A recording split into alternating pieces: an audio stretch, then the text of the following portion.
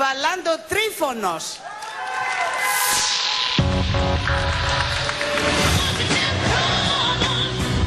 Μ' αρέσει πάρα πολύ να ταξιδεύω. Νομίζω είναι από τα πιο ωραία πράγματα στη, στη ζωή. Και θεωρώ τα ταξίδια σαν μια επένδυση που μπορείς να κάνεις. Γνωρίζεις νέες κουλτούρες και μαθαίνεις. Η μουσική του κάθε λαού για μένα έχει να κάνει με τα βιώματά του. Αλλά μια μελωδία νομίζω είναι παγκόσμια. Μπορεί να σε παρασύρει και να σε κάνει να ταξιδέψεις. Θέλω να ξέρεις πόσο πολύ σ' αγαπώ Δεν χρειάζεται όλες οι τραγουδίστριες και τραγουδιστές στην Ελλάδα να βγαίνουν με σορτσάκια. Δεν ξέρω ποιο δικό μου χαρακτηριστικό μπορεί να υπερισχύσει μπροστά στην Αντιγόνη.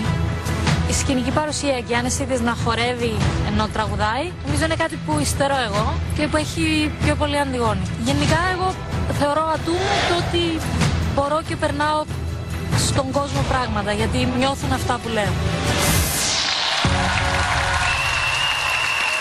Take another piece of my heart. Βαλάντο Τρίφωνος.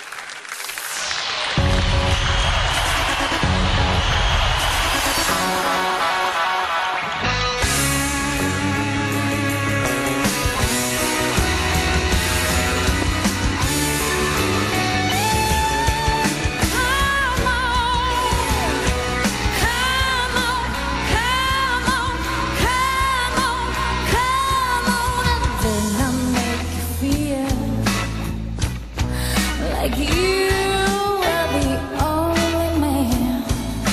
Yeah, and did I not give you nearly everything that a woman possibly can?